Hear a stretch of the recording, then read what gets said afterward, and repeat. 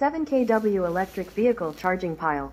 Today, I came to a relatively remote underground garage. There are few cars parked in it, but there are also many charging piles.